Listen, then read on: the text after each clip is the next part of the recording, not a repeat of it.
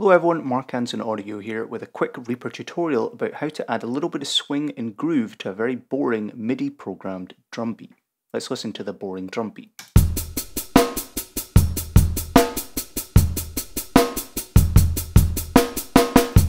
Okay, very dull, very uninteresting.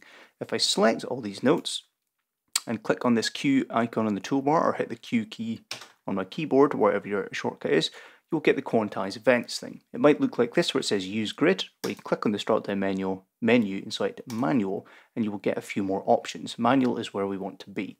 This bit specifically, this drop down menu here, by default is set to straight. If we click on it, we can choose swing, and you can see straight away that things have started moving around. If we, we set the swing strength to zero, it will have no effect, but as we swing it to the right, you will see some notes start to move to the right, some start to move to the left. So let's swing it to the right, hit play, have a quick listen.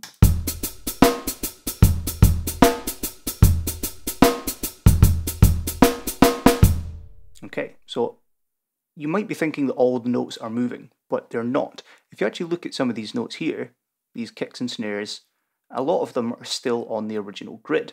It's mostly these hi-hats up here that are moving, and this like this kick drum down here and this snare over here.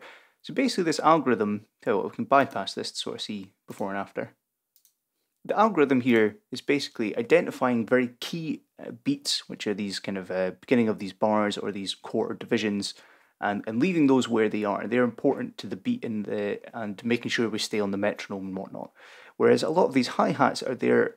The, the algorithm detects them as incidental and they're for flavor and therefore can move them around and is happy to move them around to give things a bit of a groove. So you can see as I move things to the left, a few of the notes stay where they are, and mostly hi-hats and a, uh, I think one kick and one snare beat move as well. So you can move it to the left to get a bit of a rushed feel.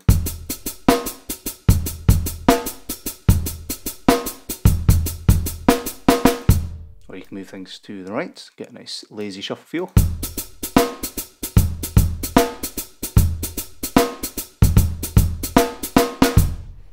Cool.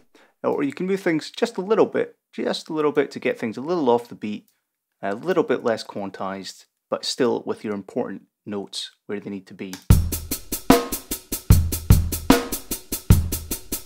Let's bypass this.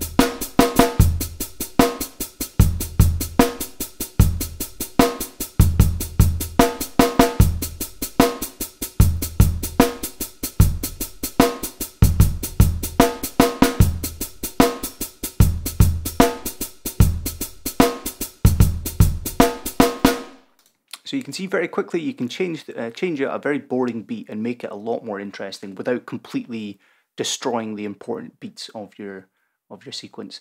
Anyway, hope you found this tutorial uh, useful. If you did, please like, rate, and comment, subscribe, all that fun stuff. My name is Mark Anderson Audio. Adios.